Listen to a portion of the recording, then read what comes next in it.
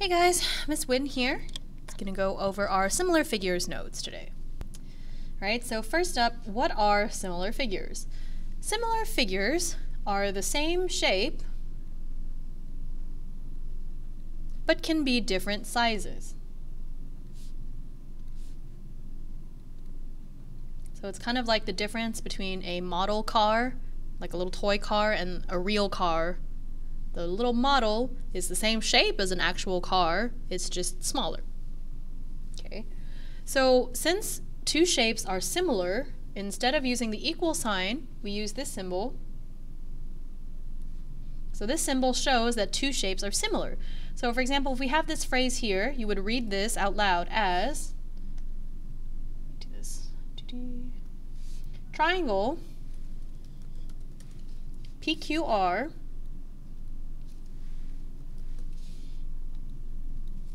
is similar to triangle TUV.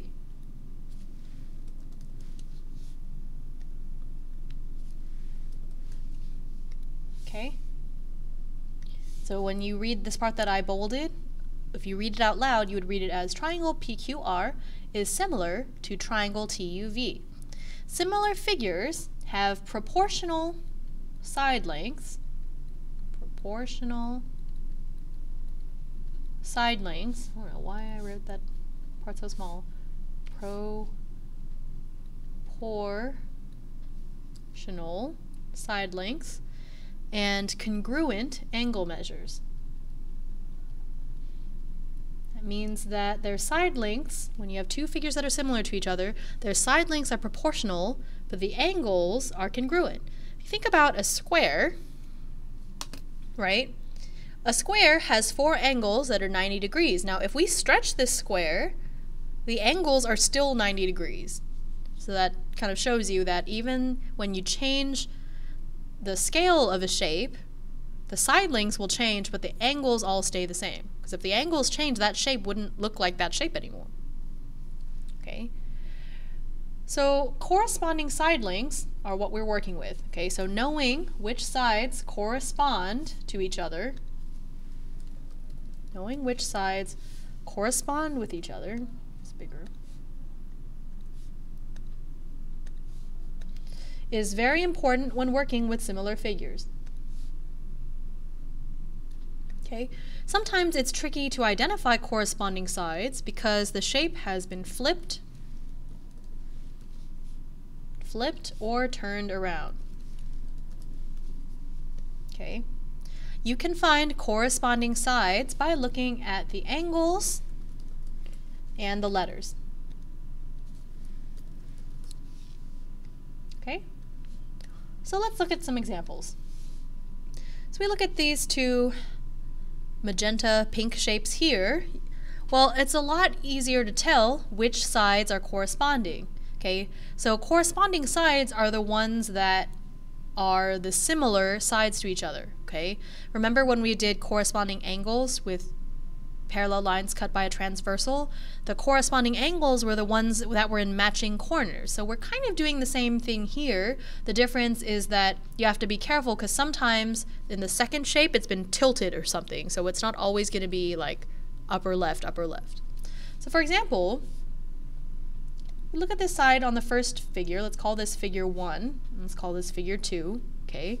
So on figure 1, this side, BA, we need to figure out which side it corresponds to over here, right?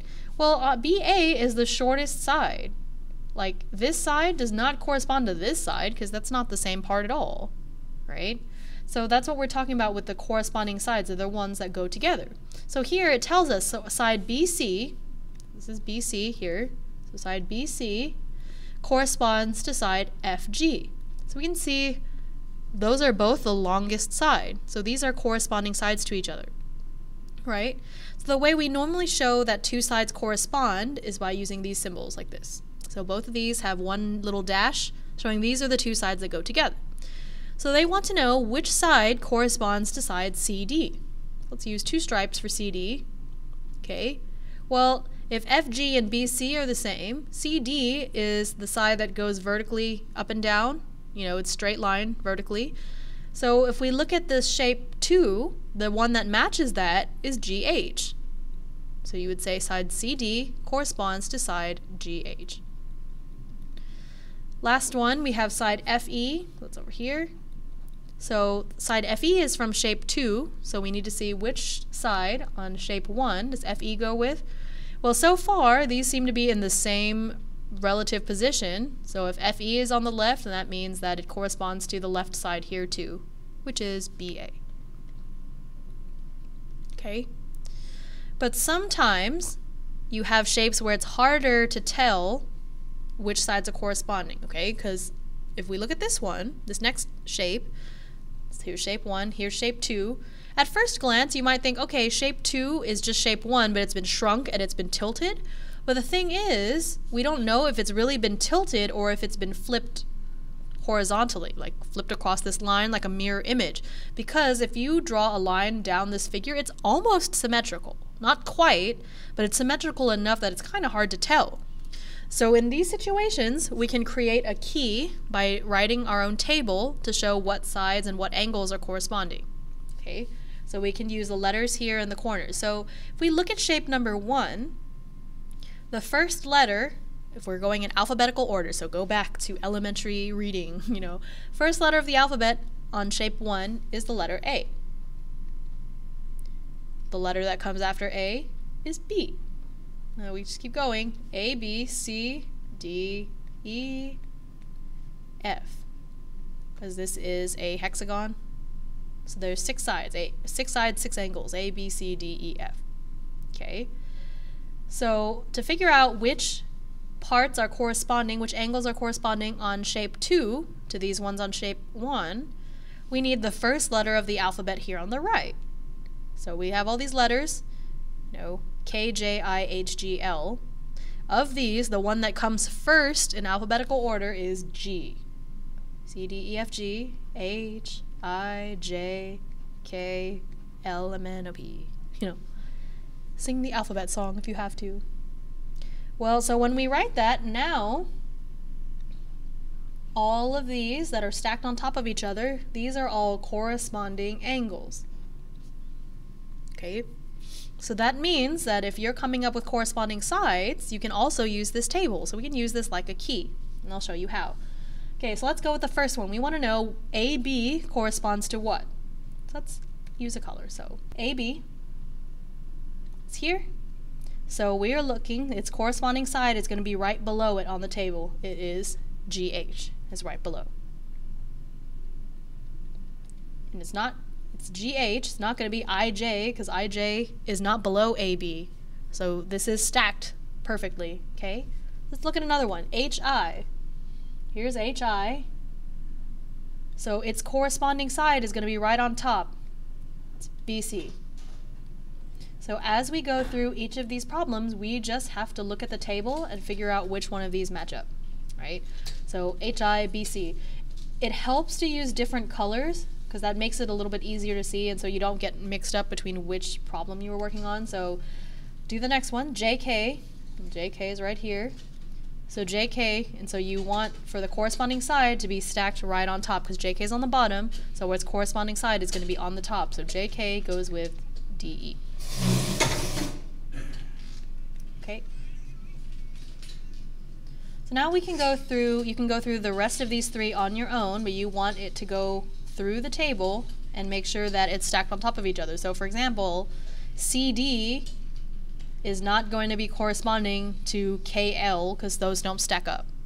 Make sure that the two, the side that you pick to go with what the question asked you is stacked right underneath or right on top of the other one. All right? So now that we are hopefully able to understand which sides are corresponding to each other, we can use that information to set up these proportions.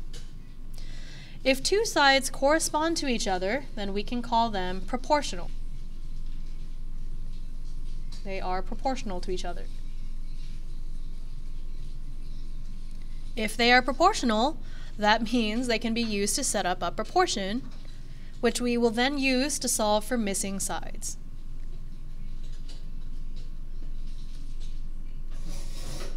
Okay, so we have these two shapes. I'm going to label them again. Here's shape 1, here's shape 2. And so again, this is one where it's a little bit difficult to tell how everything matches up. So you want to do your table. Use A, B, C, First letter of the alphabet on shape 2 is D. So we have D, E, F. And this matches up. Okay? So you can use this table to help you set up the proportions.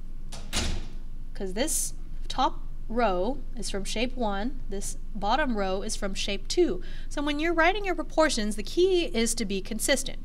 So here's an example of a proportion that works. We have AB, because that's a side, side AB is proportional to DE, so these are the two pairs, this is the pair of corresponding sides. So this is from shape 1, this is from shape 2. So that means that on the other side of the equation, we need to also have a 1 and a 2. Because we have 1 and 2 on the left, we have to have 1 and 2 on the right. So since we did A, B, and D, E, we could do BC over EF on the right. That's just one of the many proportions you can do. Okay, you could also do DE over AB equals EF over BC.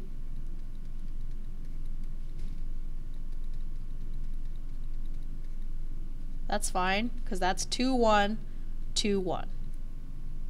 You have to be consistent. Now another thing, another way we can also write proportions is to do 1, 1, you know, 1 over 1, 2 over 2. So A over B, AB over BC so that's 1 and 1. However, that means that we need the corresponding sides to go side to side. So the corresponding side to AB is still DE, so it has to be next to it here. Here's 2, DE. The corresponding side for BC is EF. So we have 1 over 1 equals 2 over 2. And then it's important that our corresponding sides are now next to each other. So when you are writing your proportion, the corresponding sides either need to be stacked, like AB over DE or DE over AB, so they're stacked on top of each other, or they need to be next to each other, like AB and DE, BC and EF.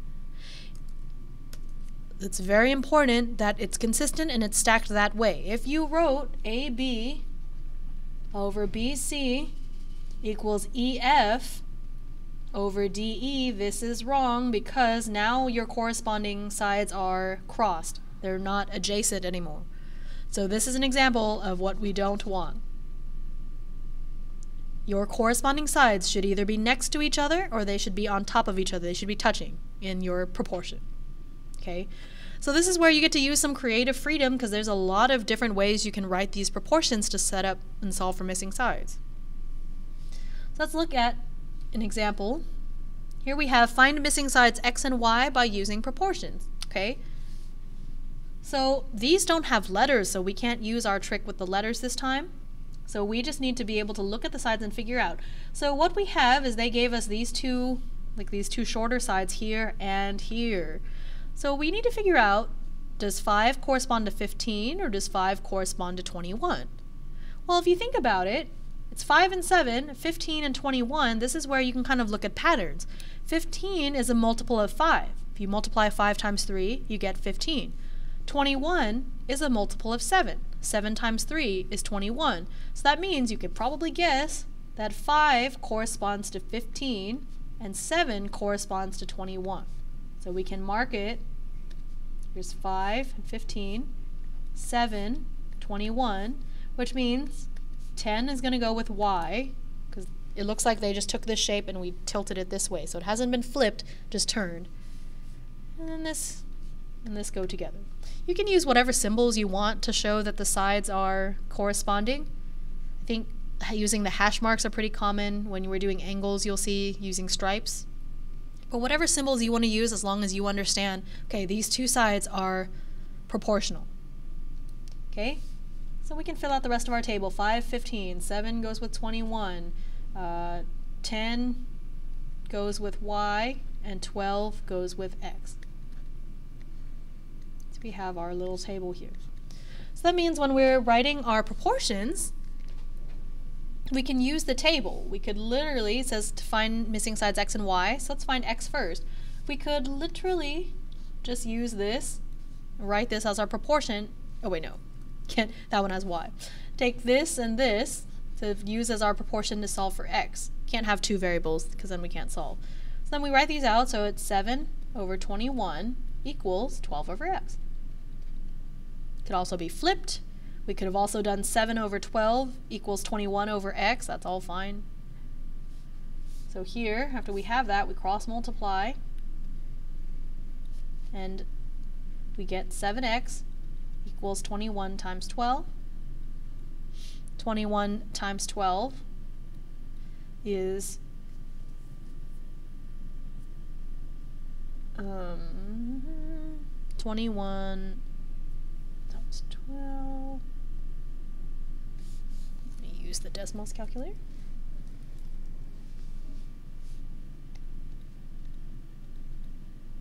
Gives us 252. So we have 7x equals 252. So now we need to divide by 7.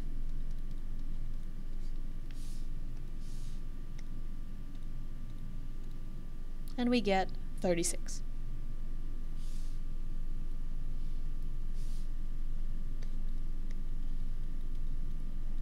Okay, now we need to do the same thing for y. If we really wanted to, for y, we could do 7 over 21 again. So 7 over 21 equals 10 over y, but that doesn't seem very fun. So I'm going to use a different proportion so you can see how much differently we can do it. So now let's go this way, I guess. So we have um, 7 over 10 equals 21 over y. So you can see that this would be 21 and y come from the same shape. So this was labeled 1 and 2. This would be 1 over 1, 2 over 2. And that's perfectly okay. Now we cross multiply. So we have 7y equals 21 times 10. 21 times 10 is 210. And we divide by 7 to get rid of the coefficient we end up with y equals 30. I forgot to circle the other one. Okay. So once you create the proportion, I think y'all understand how to solve because this is exactly the same as direct variation with the butterfly method and all that. The only difference between our regular direct variation problems and this is that instead of getting a word problem to give you the relationship, like, oh, this washing machine washes 10 shirts in two minutes, instead of getting a word problem, you have a picture. Okay, let's talk about angles real quick, even though we've kind of touched on it already. All corresponding angles are congruent angles. So we already said this, that even if the side lengths change in size as we shrink or grow, the angles all stay the same. So if angle A corresponds to angle B, then they are the same.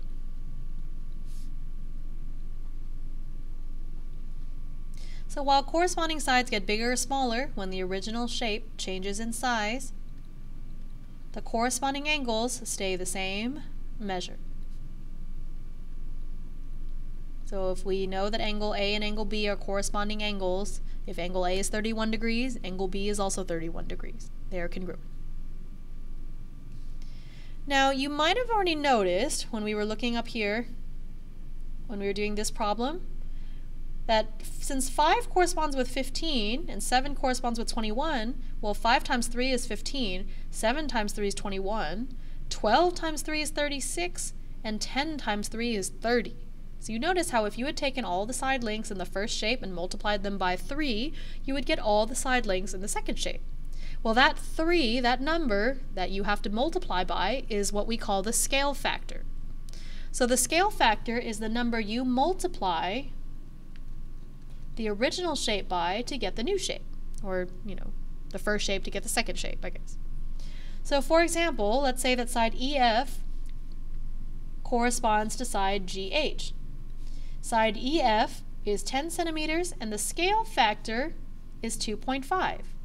So if we know that side EF is 10 and that the scale factor is 2.5, we can find the length of side GH by multiplying. So we will multiplying 2.5, which is the scale factor, times 10, which is the original side length, gives us 25, which is the new one. So this is just like in this problem, where if you have 5, that's the original, you multiply it by 3, which is the scale factor, and you get 15. So if you have the scale factor, then you are using the scale factor to multiply to get the missing shapes, or the one the missing sides, or the ones on the other shape. If you are trying to calculate the scale factor, then you do the opposite of multiplying, which is divide. So you calculate the scale factor by dividing two corresponding sides. So if you find the scale factor and it turns out to be greater than 1, like before when we our scale factor was 3, that means the shape enlarges. Means that the shape is bigger. If the scale factor is smaller than 1, like 1 half or something, then that means the shape shrinks. It's getting smaller. Okay? So let's look at these here. Okay? So now we're talking about corresponding angles. So this is another one where using the letters can really help you. But you can also kind of, this one I think is easier to see. You can tell, it tells us that angle A corresponds to angle F. So here's a little angle sign with one stripe. So they want to know angle B corresponds to what side on the second shape. So this is 1, this is 2, right? It's either going to be G or J, right? Well, G comes after F in the alphabet just like B comes after A in the alphabet. So that gives us our clue that this is going to go with G. So the rest we can just fill in, you know, since we're just going clockwise. Would be three. So four. And then the fifth. Lots of different ways to show congruent angles. Okay, so A corresponds to angle F, angle B corresponds to angle G, J corresponds to E, and angle I corresponds to angle D. Last but not least, we have the scale factor problems. They tell us the scale factor is 3, and they give us all of the measurements, all the side lengths on shape number 1. Okay, well, so we need to figure out which of these sides go together. Same thing, you can go either way. Either you can look at it, because you're like, okay, this is the smallest angle here, so these probably go together. Well, and then these kind of look the same, like this side and this side look like they have the same relationship as this side and this side. So I feel like these two go together. Then this goes together. Oh, it looks like it hasn't been turned or tilted or anything. Okay. A, B, C, D is going to be the same thing as E, F, G, H. They're corresponding. Okay.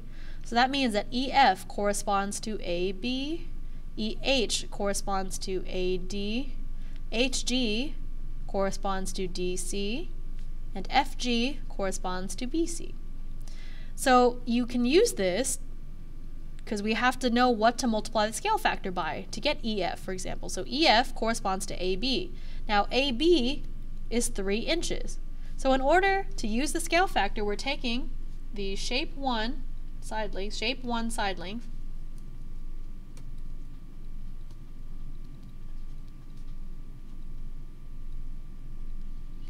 And then we're going to multiply it by the scale factor.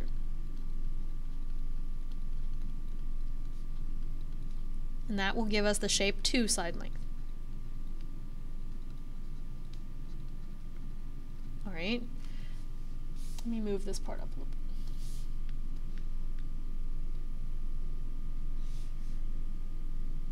Okay, so that means that if AB is 3, was 3 inches, then you're going to multiply that by the scale factor of 3 to get EF. So 3 times 3 is 9. EH corresponds to AD. AD is 2 inches, and then we multiply that by 3. 2 times 3 is 6. So when you have the scale factor, all you're doing is taking the original, so the first side length on shape 1, and then you multiply it by the scale factor. So HG goes with DC. DC is 5 inches, multiply by the scale factor, and so on. So when you have the scale factor, you're multiplying. When you're trying to find the scale factor, you're dividing. Okay. So I want to quickly go over one of the practice problems on practice sheet.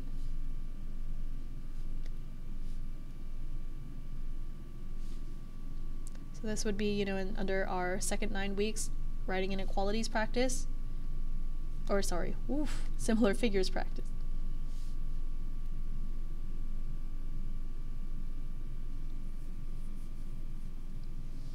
So I'm going to go through number one and number two with you so you can understand. Or see this a little bit more in action. Okay?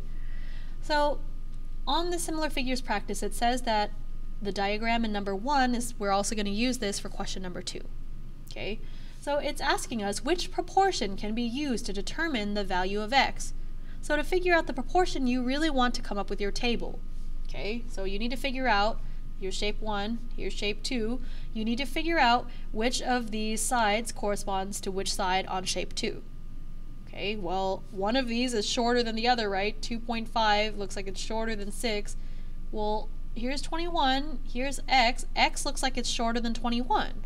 So we can guess pretty well that 6 corresponds to 21 and 2.5 corresponds with x. So we can write our table. Here's 6, here's 2.5. Because they have the same shape, because this is shape 1, this is shape 2. 6, 2.5, 6 corresponds with 21, 2.5 corresponds with x.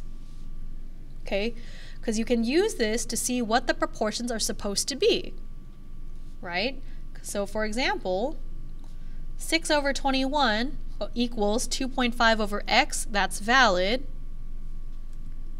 6 over 2.5 equals 21 over x, that's also valid. So when you have the table, that allows you to more easily look at these answer choices and figure out which one is done correctly, right? So let's look through these one by one. Answer choice A has 6 over 2.5. 6 over 2.5, so this is 1, 1. That's fine. Then we have x over 21, that's 2, 2, except we went from left to right, 6 over 2.5. So that means that it should be going left to right on the bottom too. So this should be 21 over x because remember corresponding sides either have to be stacked together or next to each other. 6 and x are not corresponding. 6 and 2.5 are not corresponding. So this is not drawn properly. This is a wrong proportion. Consistency is really important with these proportions. Look at number 2. We have 6 over 2.5. Erase this. I'm do this in another color. We have 6 over 2.5. Again, so that's 1 over 1. Then we have 21 over x, that's 2 over 2, and 6 over 21, these are corresponding sides. They're next to each other. So B is a correct answer, but let's go ahead and look at the other two so you can see. Okay? So we have another one. We have 6 over 21, so this is 1 over 2. But then we have x over 2.5, that's 2 over 1. This is already no good because it has to be consistent. If we have one on top, two on the bottom here, we need to have one on top, two on the bottom here. We don't. Last one.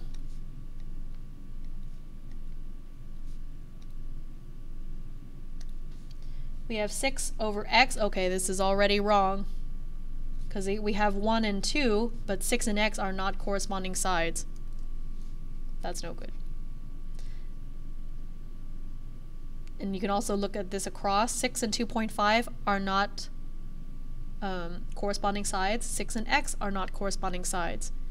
6 and 21 are the corresponding sides, and they're crossed like this. That's why this is wrong.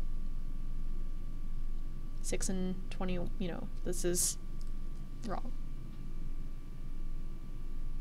Okay, so hopefully that allows you to see so that makes B the right answer, definitely. So this allows you to see kind of what we're doing when it's multiple choice. And this, using the table and numbering your shapes allows you to see when it's done right and when it's done wrong. Okay. Well, so then question two wants us, wants us to find out what is the value of x. Okay, so we can use the correct proportion, or you could come up with your own if you want to, but I mean, they already have it, might as well use it. So we that's our proportion. We already found that to be the correct answer. We butterfly. 6x equals 21 times 2.5. We solve it. So 21 times 2.5 is 52.5. Oh, sorry, it's 21 times 25. It's 525. Oh, it is 2.5. okay, anyway, sorry. 52.5 then. Hmm, throwing myself off. Equals 6x. Then, get rid of the coefficient. So we divide by 6. Get x equals whatever 52.5 divided by 6 is. Turns out to be 8.75.